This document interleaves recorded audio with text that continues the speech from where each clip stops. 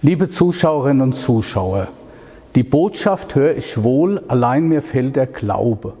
Wir alle kennen diesen Satz aus Goethes Faust. Er ist für uns zu einem geflügelten Wort auch in unserer Zeit geworden.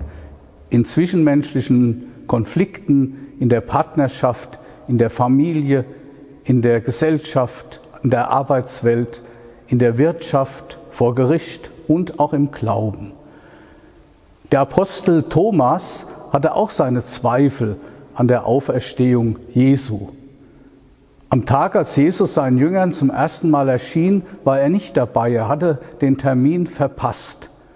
Nun ärgert er sich mehr über die Schwärmerei seiner Kollegen, als dass er glauben könnte. Doch der auferstandene Jesus zieht sich nicht brüskiert und beleidigt zurück, er nimmt die Zweifel des Thomas ernst. Er geht auf ihn zu. Und das ist auch für uns tröstlich und beruhigend. Gott nimmt auch unsere Zweifel, unsere Fragen ernst.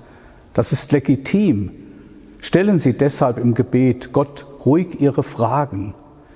Wir kennen alle den Satz, Vertrauen ist gut, Kontrolle ist besser. Es gibt aber eine Alternative zu diesem Satz. Ich würde sagen, eine christliche Alternative, die wir mit Thomas sprechen sollten. Kontrolle ist gut, Vertrauen ist besser. Ich wünsche Ihnen allen einen gesegneten Sonntag und bleiben Sie alle gesund.